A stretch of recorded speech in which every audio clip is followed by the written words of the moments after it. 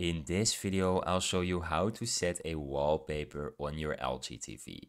Step 1. Open the TV settings. Press the settings button on your remote. Navigate to all settings for more options. Step 2. Navigate to wallpaper or picture settings. Go to general or display settings depending on your TV model.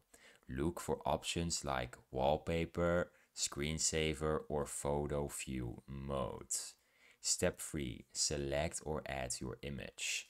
Pick from pre-installed wallpapers or choose gallery or USB to select a personal photo. Confirm your selection to set as background. Step 4. Apply and view your wallpaper.